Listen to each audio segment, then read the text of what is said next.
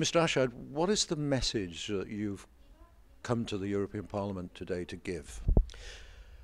The, the main message is that we are um, nowadays facing with a serious terrorist um, groups and organizations that they have hidden their true nature and nowadays uh, we witness that they are showing their real face and we must seriously consider this and we must confront this threat to the democracy, freedom, and base uh, the uh, human values.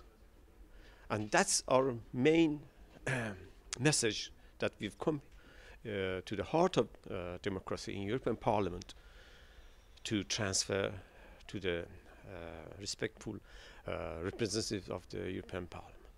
And which particular organizations uh, are you referring to here? Um, we, I have been a member of the People's Mujahideen Organization of Iran since 1979. Even before that, I have been the uh, head of uh, a student organization in England, and then I was responsible for the um, Pakistan country of the organization, and then I was responsible for the Turkish uh, branch of the organization. I have been a member of the National Council of Resistance.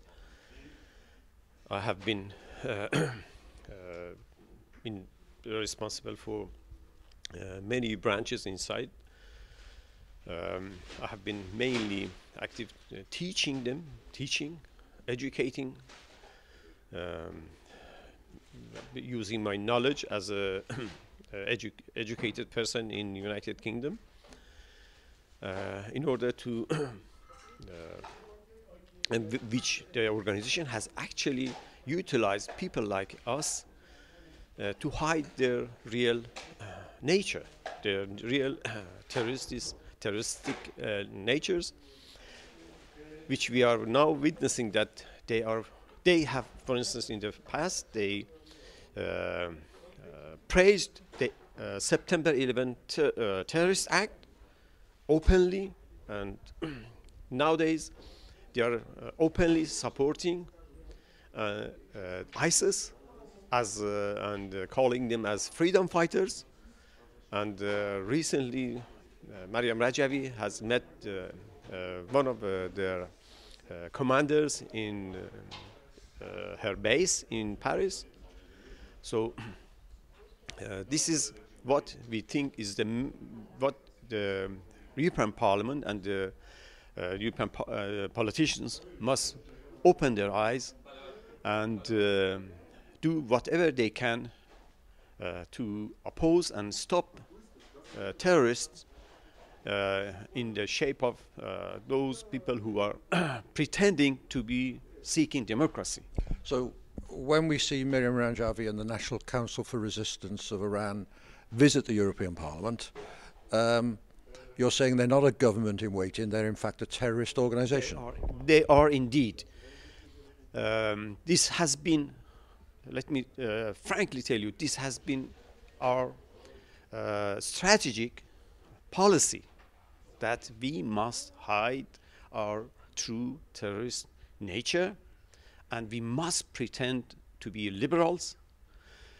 And so when having got having uh, uh, reached the power and then we will fight and we will come bring down this uh, democracy in the west.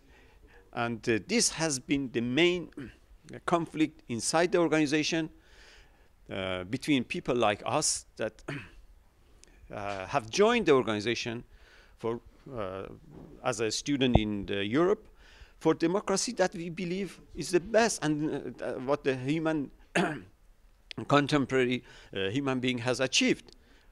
But they are actually deceiving people and uh, pretending to um, to uh, desire such a democracy, but they want to bring what ISIS is now uh, putting into practice.